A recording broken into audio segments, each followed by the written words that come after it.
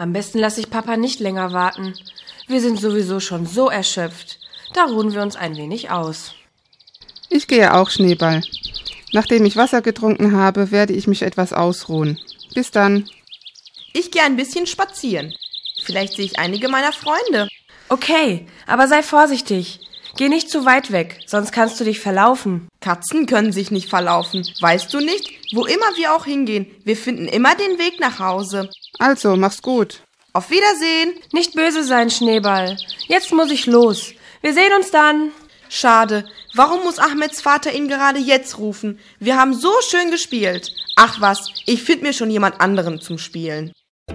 Ah, vielleicht ist ja Schmetterling da.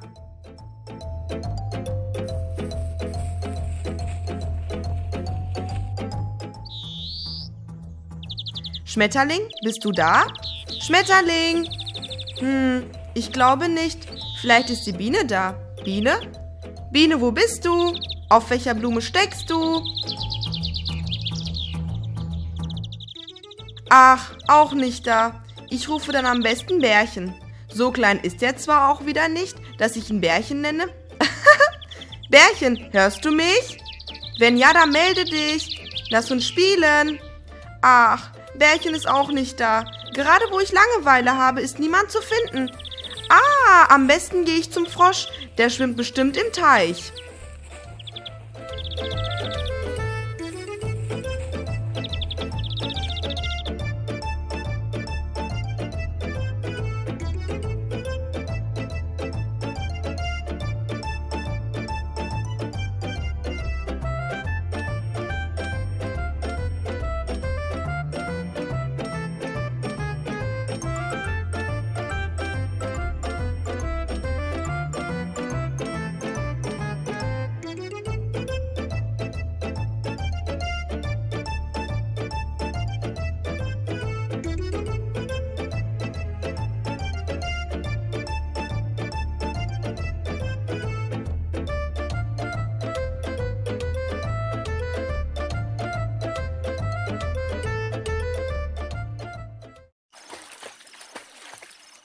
Tick, tack schlägt das Herzchen, abends bekommst du Brötchen. Wenn der Katze Fleisch auffrisst. Welche Katze ist das denn, die das Fleisch auffrisst? Ach, du bist Schneeball. Du hast mich erschreckt. Warum hast du dich so angeschlichen? du hast so schön gesungen, dass ich nicht stören wollte. Aber der Teil mit der Katze hat mich neugierig gemacht. Welche Katze war es denn? Was weiß ich? Ich habe das Lied ja nicht komponiert. Okay, okay, reg dich nicht gleich auf. Ich hab doch nur gescherzt. Aber ich weiß auch ein Lied. Dann sing mal. Kleiner Frosch, kleiner Frosch, wo ist denn dein Schwanz? Der Schlaue will sich über mich lustig machen. Hm, kleiner Frosch. Dir zeige ich's gleich. Ohne Schwanz, ohne Schwanz schwimme ich im Teich. Weißt du eigentlich, warum die Frösche keinen Schwanz haben? Nein, warum nicht? Eigentlich haben alle Frösche bei der Geburt einen Schwanz, aber der wird gleich abgeschnitten. Ah, warum denn? Denn nur dumme Tiere haben einen Schwanz. Deswegen schneiden wir ihn gleich ab, um klug zu werden. das ist Unsinn. Was hat der Schwanz mit Dummheit zu tun? Du lügst. Was das damit zu tun hat? Dann hör mir mal gut zu. Zum Beispiel, ihr Katzen, schwenkt euren Schwanz andauernd hin und her. Und was ist damit? Sei mal ruhig und hör zu. Gut, erzähl mal. Manchmal, wenn ihr euren Schwanz wackelt und nach hinten schaut, seht ihr euren Schwanz und haltet ihn für einen Feind. Dann greift ihr euren eigenen Schwanz an. Das ist doch Dummheit, oder? Aber wenn du auch, so wie wir, deinen Schwanz abschneidest, dann wirst du dich von solchen Dummheiten befreien. Aber wie soll ich das denn machen? Ganz einfach. Es gibt sogar ein Sprichwort. Verfolge mich nicht so wie ein Schwanz. Ach, ich kann es nicht glauben. Denk mal nach. Wenn wir nicht unsere Schwänze abschneiden würden, dann würde es auch nicht so ein Lied geben, das du vorhin gesungen hast.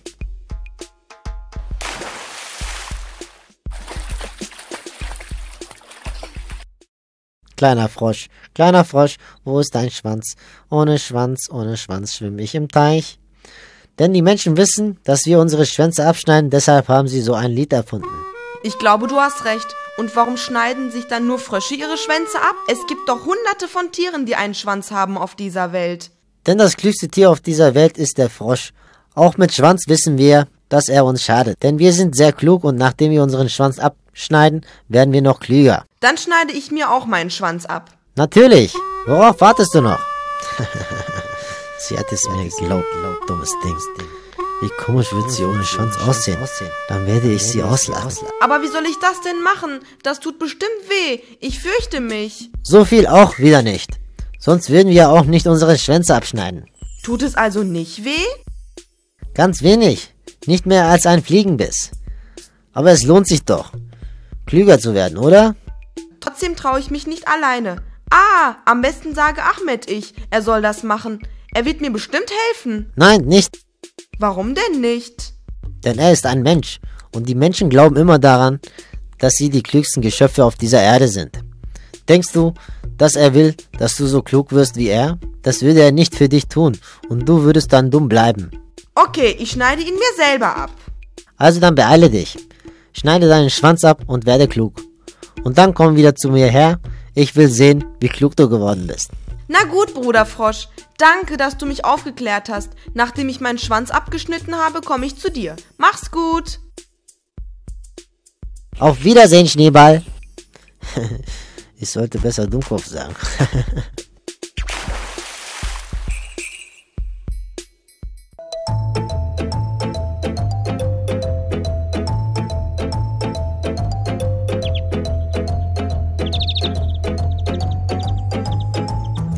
Hallo Ahmed. Hallo Spätzchen. Wofür hat dich denn dein Vater eben gerufen? Papa hat uns fortgebracht, deswegen hat er mich gerufen. Ah, wie schön. Hast du dich amüsiert? Ja, es war sehr schön. Das freut mich. Danke dir, Spätzchen. Ah, wo ist denn eigentlich Schneeball? Weiß ich nicht. Sie wollte etwas spazieren gehen.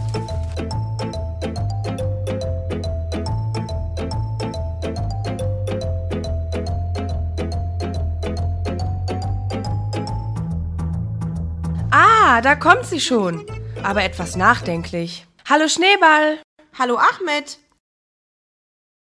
Was hast du denn? Warum bist du so nachdenklich? Nichts. Du siehst so traurig aus. Nein, ich bin nur etwas müde. Soll ich es Ahmed erzählen? Aber was ist, wenn er tatsächlich nicht will, dass ich klug werde? Wie der Frosch es gesagt hat. Aber Ahmed ist doch kein bösartiger Junge. Und er, er mag mich doch. Genau, am besten sage ich es ihm. Nein, ich kenne dich. Du hast was auf dem Herzen. Wir sind doch deine Freunde. Erzähl mal, damit wir dir helfen können. Danke dir, Spätzchen. Also gut. Ahmed, ich werde dich um deine Hilfe bitten. Natürlich, Schneeball, wenn ich helfen kann. Wir sind doch Freunde. Danke dir, Ahmed. Ich will, dass du meinen Schwanz abschneidest. Was? Bist du verrückt geworden? Warum soll ich deinen Schwanz abschneiden? Der Frosch, Der hatte, Frosch recht. hatte, recht. Warum habe ich nicht auf ihn gehört? gehört? Ach, was, Ach, soll's. was soll's. Dann schneide ich ihn eben selber heimlich ab. ab. Schneeball, wovon redest du? Wartet mal, ich erzähl's euch gleich. Vorhin, als ich mich von euch getrennt habe, bin ich zum Frosch gegangen. Wir haben uns etwas unterhalten und er hat mir sehr komische Sachen erzählt. Ja? Was denn? Er hat gesagt, dass Tiere, die einen Schwanz haben, dumm wären. Eigentlich hatten auch die Frösche von Geburt an einen Schwanz, aber um nicht dumm zu bleiben, würden sie ihre Schwänze abschneiden. Und er hat auch gesagt, schneide auch deinen Schwanz ab, damit du klug wirst. Aber wie hast du nur an so etwas geglaubt? Das ist doch eine Lüge. Nein, ich wusste es. Ihr wollt nicht, dass ich klug werde. Schau mal, Schneeball. Wir sind doch deine Freunde und wollen natürlich dein Bestes. Hör mir jetzt gut zu. Ja, erzähl mal, obwohl ich meine Meinung nicht ändern werde. Schau mal, Schneeball, der Frosch hat dir einen bösen Streich gespielt. Der gütige Allah hat alle Geschöpfe in einer Harmonie erschaffen. Und alle Geschöpfe haben sowohl eine bestimmte Aufgabe als auch genügend Vernunft. Wenn Tiere schlauer werden würden, wenn sie ihre Schwänze abschneiden, dann hätte Allah sie gleich ohne Schwanz erschaffen. Du hast zwar recht, aber. Schneeball, Du bist doch schon klug genug. Was willst du mit mehr Klugheit? Nein, aber ich hab nur gedacht. Allah hat jedem Geschöpf genügend Verstand verliehen, um sein Leben fortzuführen. Wissen und Bildung ist nur etwas für uns Menschen. Deshalb sind wir Menschen klüger als alle anderen Geschöpfe. Wichtig ist nicht nur klug sein, sondern den Verstand richtig zu nutzen. Hast du das verstanden, Schneeball? Ich denke ja. Also hat mich jetzt der Frosch angelogen. Ja, er hat dich sogar auf eine sehr gefährliche Weise angelogen. Und wenn du es uns nicht erzählt hättest und einfach deinen Schwanz abgeschnitten hättest, uff, sogar der Gedanke ist furchtbar. Weißt du, wie weh es dir getan hätte? Der Frosch hat mir gesagt, dass es sehr wenig wehtun würde. Hm, dreckiger Lügner. Ich werde es ihm zeigen. Warte, Schneeball. Er hat zwar einen Fehler gemacht, aber wenn du jetzt auch etwas falsch machst, dann zieht er daraus keine Lehre und wiederholt seinen Fehler. Richtig. Wir müssen ihm zeigen, wie falsch es war, was er gemacht hat. Lasst mich mal. Ich will ihm zeigen, was es heißt, mich anzulügen. Nein, Schneeball, wir erteilen ihm so eine Lektion, dass er nie wieder jemanden anlügt. Aber wie denn? Lass mich ein bisschen nachdenken. Am besten gehen wir zu ihm hin und sagen, dass er etwas sehr Falsches gemacht hat. Aber eine Lektion müssen wir ihm erteilen. Ja, aber mir fällt nichts ein. Und mir fällt überhaupt nichts ein, weil ich meinen Schwanz immer noch nicht abgeschnitten habe. Bin ich immer noch nicht klug geworden. Schneeball! Okay, war nur ein Scherz. Ach, und ich dachte, du glaubst immer noch dran. Ach, hört auf und lasst uns nachdenken. Eigentlich fällt mir schon etwas ein. Hm, Aber vorher will ich euch etwas erzählen. Mama hat es mir erzählt. Hör mir zu, Ahmed. Die zwei Enkelkinder unseres Propheten Mohammed Mustafa, sallallahu alaihi wasallam, Hassan und Hussein, radiallahu an, haben eines Tages einen Mann gesehen, der bei der rituellen Waschung Fehler gemacht hat. Sie wollten ihn darauf aufmerksam machen, ohne ihn zu kränken oder zu beschämen. Sie gingen zu dem Mann hin und sagten, Onkel, wir sind noch klein und wollen uns waschen. Können Sie uns bitte zusehen und unsere Fehler uns sagen?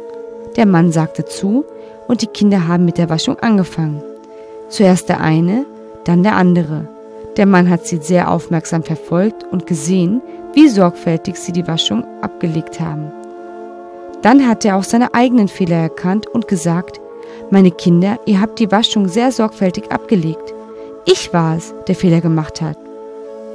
Und ihr habt mir das Richtige gelehrt. Noch dazu auf eine sehr nette Weise. Also die Moslems sollten immer, wenn sie jemanden auf etwas aufmerksam machen wollen, es auf eine sehr nette Weise machen. Ich habe verstanden. Und? Was ist dein Plan? Das nennt man Menschenverstand. Ich verehre es nicht umsonst. Genau, das ist eine tolle Idee. Hoffentlich klappt es. Also los, du verfolgst uns von weitem und wenn wir dir ein Zeichen geben, dann kommst du. Gut, lasst uns gehen.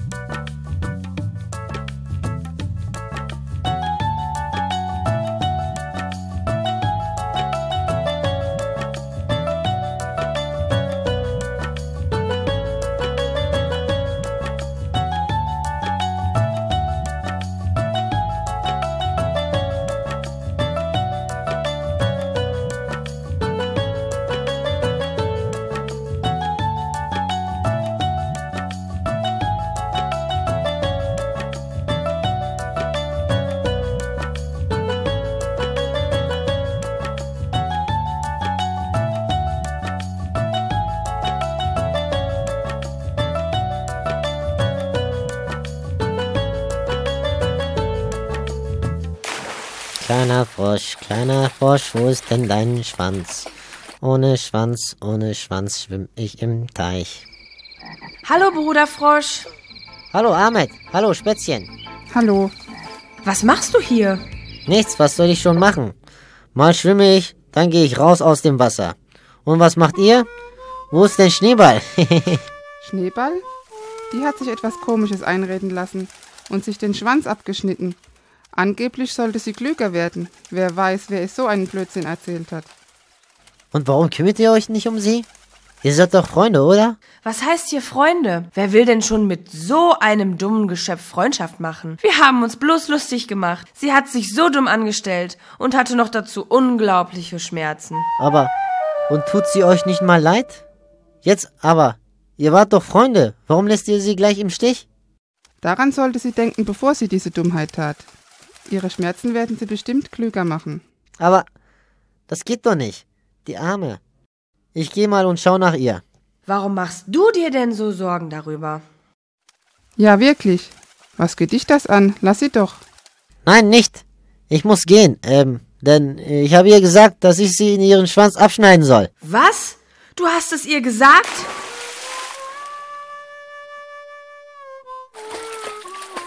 Ja, aber ich dachte nicht, dass sie es wirklich tut. Ich wollte nur einen Scherz machen, aber es war nicht so böse gemeint. Dann sollst du begreifen, dass Lügen sehr schlimme Konsequenzen haben kann. Und du sollst nie wieder, nicht mal aus Spaß, lügen. Aber ich bereue es so sehr. Ach, könnte ich die Zeit zurücklaufen lassen. Dann mach deine Augen zu. Ich habe eine Überraschung für dich. Mach deine Augen auf. Ah, ich kann es nicht glauben, Schneeball. Dir ist nichts passiert. Ja, so dumm bin ich nun auch wieder nicht. Gott sei Dank.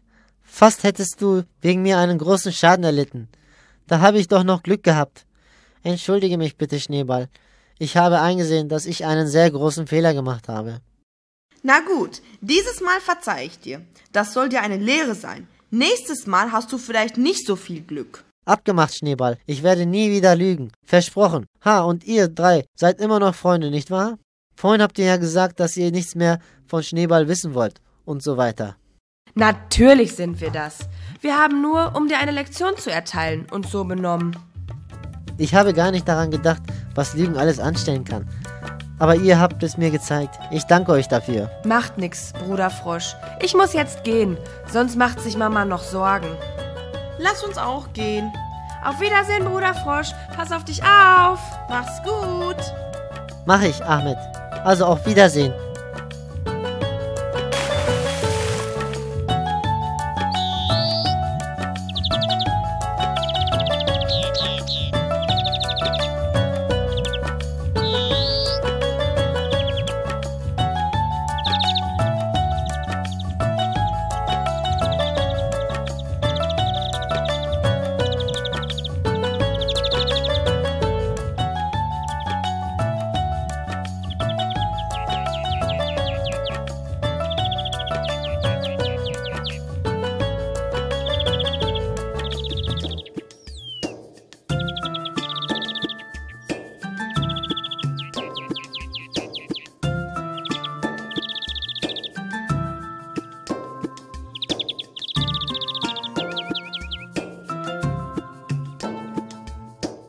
Hallo, Mama. Hallo, mein Sohn. Was hast du draußen gemacht? Heute habe ich gelernt, wie falsch es ist, Lügen zu erzählen. Ja, mein Sohn. Lügen ist eine schlechte Tugend und kein Moslem sollte lügen. Du hast recht, Mama. Ich werde niemals lügen.